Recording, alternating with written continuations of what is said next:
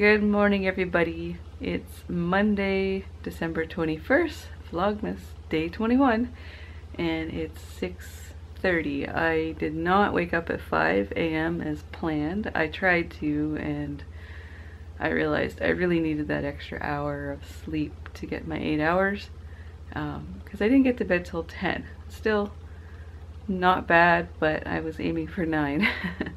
but I am doing the video, editing the video last night kept me up a bit. So I just finished writing in my journal and now I'm gonna do a little meditation and visualization of how I want my life.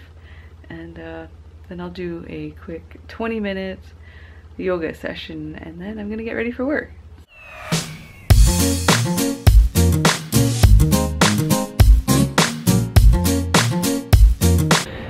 All right, I'm on my way to work. I ended up doing 10 minutes of yoga this morning and uh, not what I had planned, but it's better than nothing.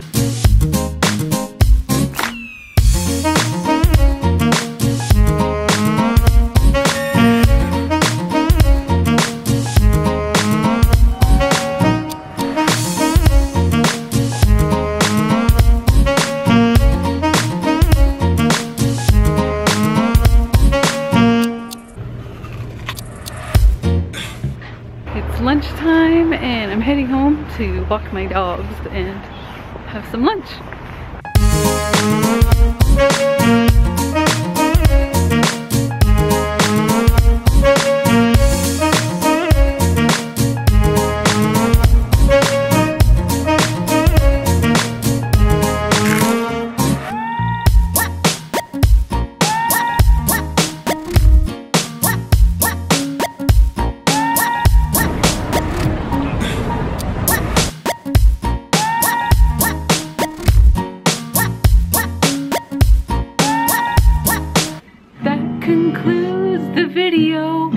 Today because I'm so awesome at editing that I'm gonna get to bed by nine.